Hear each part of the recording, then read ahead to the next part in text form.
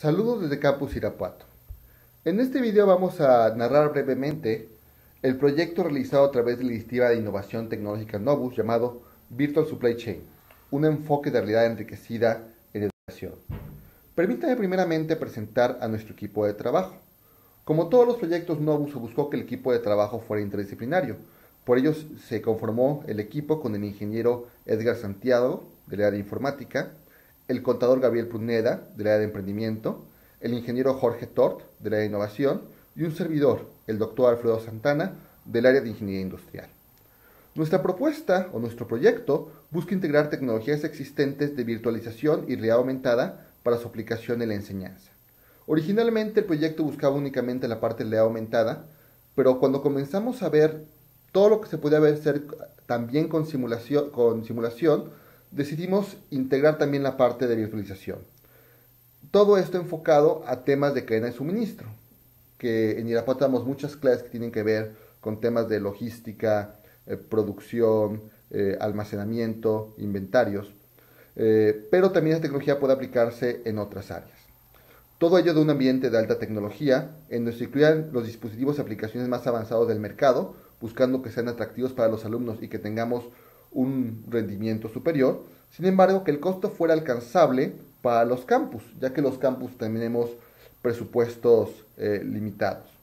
Con un esquema de capacitación y transferencia factible, ya que al final de cuentas lo que buscamos es que esa tecnología que hemos estudiado y que hemos incorporado en Campus Irapuato pueda ser fácilmente transferible con un mínimo de inversión y un mínimo de tiempo de capacitación a cualquier profesor que así lo desee. Permítame platicar de un par de definiciones antes de continuar con el proyecto. Primeramente, la parte de virtualización implica un proceso que tiene ciertas entradas, ciertas salidas, y se imita o se mimetiza 100% a través de la computadora. Es decir, es una representación del mundo real que está siendo llevada a cabo a través del computador. La segunda definición que quiero comentar es la parte de realidad aumentada. Ahí tenemos un elemento de la vida real que interactúa con un elemento que se crea a través de la virtualización.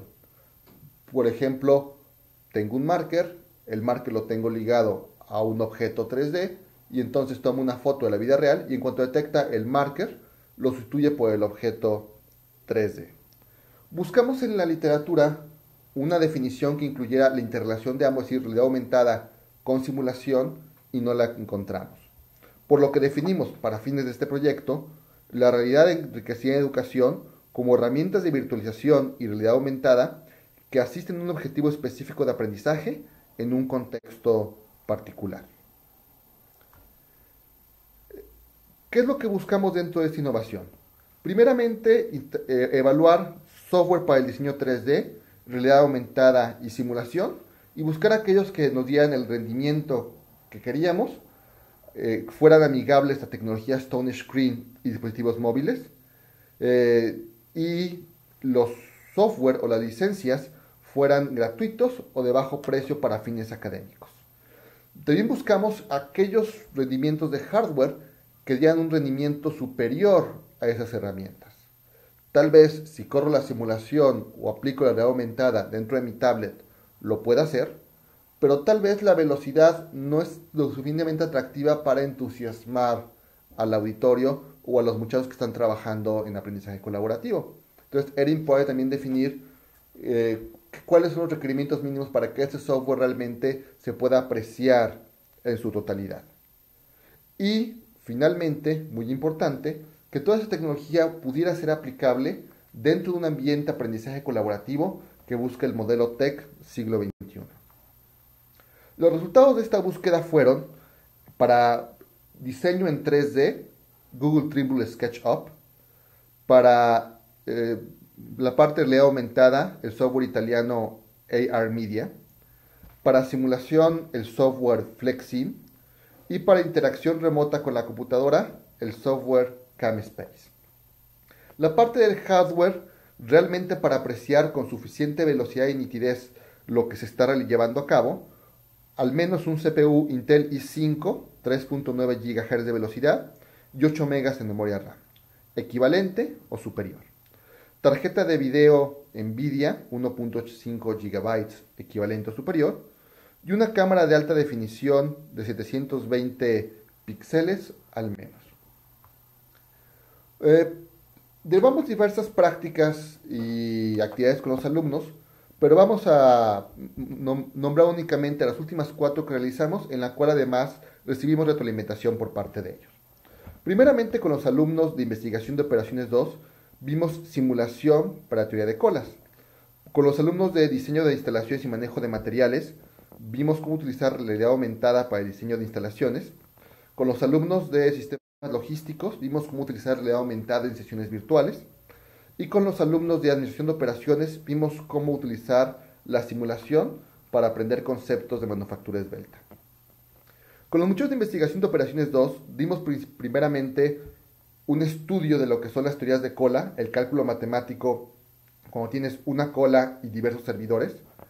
Y posteriormente diseñamos una hoja de Excel para que ellos pudieran sacar sus cálculos matemáticos rápidamente contra un simulador que les iba a estar generando el, sistema que ellos estaban calculando.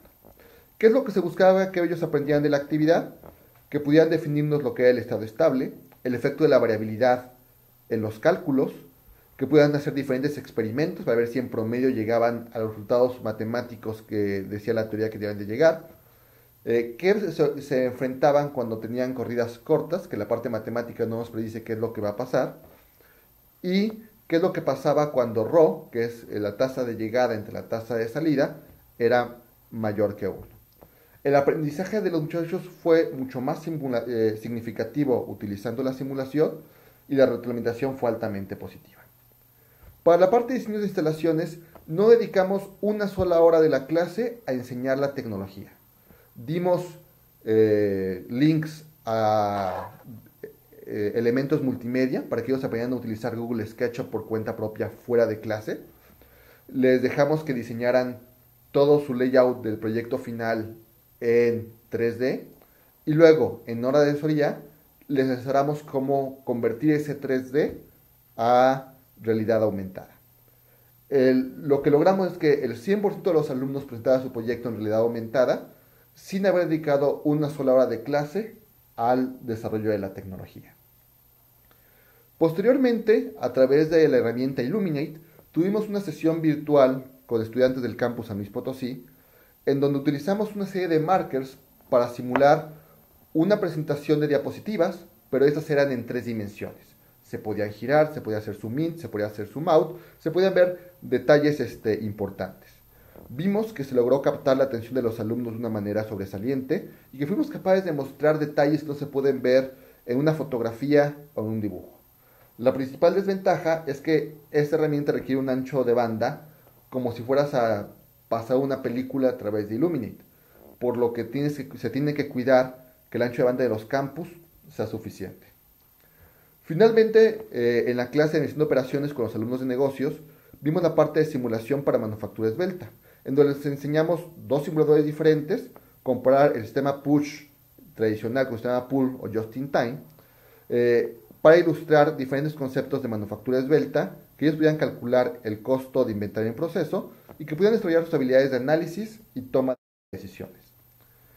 ¿Qué descubrimos dentro eh, de este proyecto? Algunos incidentes críticos que vale la pena mencionar son los requerimientos especiales de iluminación. Si el salón tiene acceso de luz, en ocasiones puede afectar la proyección de los markers. Eh, el soporte de cámara, cuando dimos la cámara a los alumnos, por los mismos nervios les temblaba la mano, así que diseñamos un soporte para que ellos pudieran poner su cámara, manipularla sin necesidad eh, de que la imagen tiemble. Eh, el diseño para los profesores es exhaustivo, ya que tres horas de, desarrollo a lo mejor equivalen a 10 o 15 minutos eh, de clase.